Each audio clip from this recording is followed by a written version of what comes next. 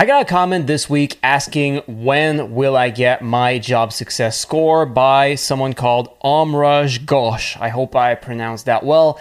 Uh, actually, you gave me three different questions in your comment. I'm going to answer all of them, but for this video, I'm going to cover the one uh, specifically about when you'll get your job success score. So, the way that uh, you get your job success score uh, on Upwork when you're a new account is that you have to, first of all, complete two different projects, uh, different contracts for two different clients. So, for example, if you do one project for one client and another project for another client, that would qualify because you've done a total of two different projects with two different clients.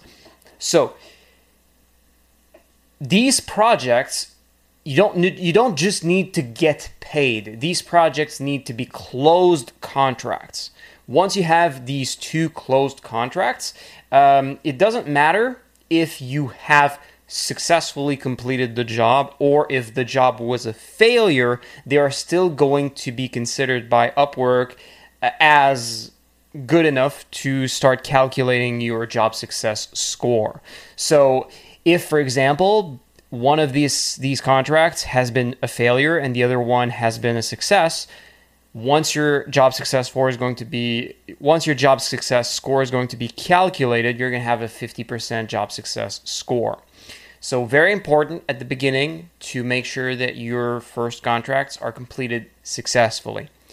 Also what you need to understand is that there's a specific moment when you will receive your job success score. The thing is that Upwork does not calculate your job success score right away. What they do is that they do calculations for job success scores on Sundays once every two weeks. So it's possible that once you've finished and closed uh, your second job, that you might get your success score calculated that Sunday, but it's, it's, also possible that it's only going to be calculated the next Sunday after that. So maybe it's going to take a couple of days before before you get it. But as soon as you have finished these two different projects, regardless of the outcome, uh, as long as the projects are closed and finished, not just getting paid, but the project's still open, as long as they're finished, and it happened with uh, more than one single client, and actually with at least two different clients.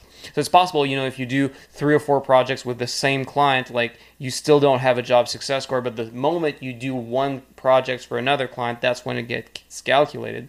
And also, um, these projects need to have been completed within the last two years. So if you've done a project for a client five years ago and you do one today, you're not going to get a job success score right away. So, this is everything I think that you need to know about when you're going to get your job success score. If you have any questions about this, or if you have other questions that you'd like me to make videos about, ask me in the comments. With that, thanks for watching, and I'll see you in my next videos. Take care.